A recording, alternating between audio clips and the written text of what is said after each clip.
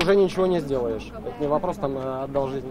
Очень жаль, ре- реально очень жаль, я вас всех понимаю. Спартак не устоял, а работникам теперь дают один совет – искать новую работу. Казанская обувная фабрика банкрот с 28 апреля. Это решение арбитражного суда. С 18 марта работники отправлены в административный отпуск. Выгнали все предприятие, грубо говоря, на две трети. 30-го аванс должно было быть, аванса нет. 15-го зарплат, ой, вот то, что вот сидели. Зарплату две трети Две должны трети были выплатить, до сих пор ничего нет. И у нас даже элементарно даже нету расчетных листов, чтобы мы должны, мы могли узнать, сколько нам предприятий должно вообще. Сегодня к работникам вышел представитель конкурсного управляющего. По его словам, «Спартак» задолжал им примерно полтора миллиона рублей. Руководство компании сейчас держится в стороне. Должностные обязанности выполняете вообще? Нет. Я в простое.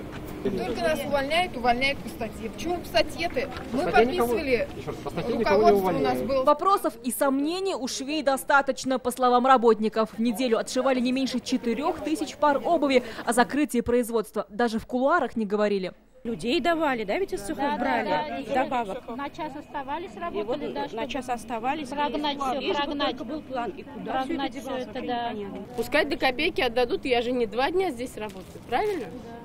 И как акционер.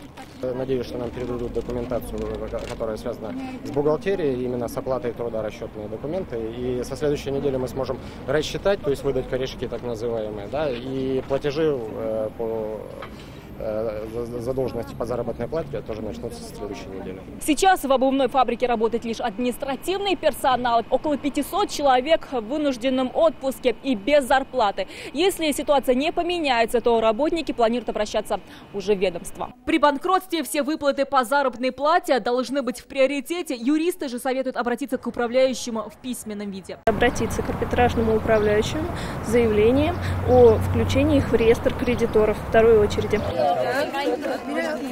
Сегодня компания издала новый приказ. Копии раздали работникам. Теперь с 30 мая фабрика временно приостановлена. Отдельные подразделения в простое. Альбина Минибаева, Андерсон Тальцев, ТНВ, Казань.